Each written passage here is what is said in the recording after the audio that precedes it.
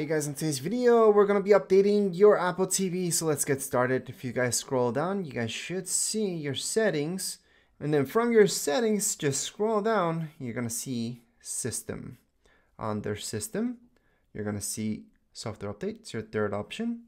Under your third option, update software. So even if automatic updates are turned on, it's most likely not gonna just update by itself. So right now we have an update for 18. That's right.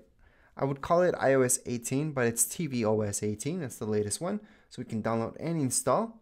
Just press on it and just let it do its thing. It's gonna download it, then it's gonna restart, and you're gonna be done with this update. Obviously, do not unplug your Apple TV. The downloading time does depend on your internet speed. So if your Apple TV is kind of slow, or your internet speed, I should say, it's kind of slow, it's gonna take forever.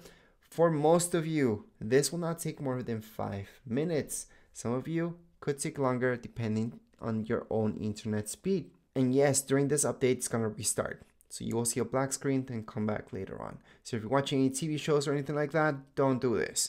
Do this afterwards when you're done, and then just let it do its thing, then come back to it. So as mentioned, your Apple TV will restart. You should see a screen like so, and then later on, you're just gonna be done with the update. Just leave your Apple TV to do its own thing.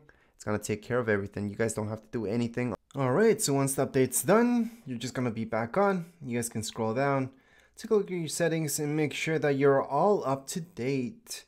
So go right into your network, I mean system, not network. And then software update again. You should see that you're in the latest tvOS 18. That would be it for today's video. If you guys have any questions, comments, you guys can write them in the comments area. Don't forget to subscribe and like. Thank you.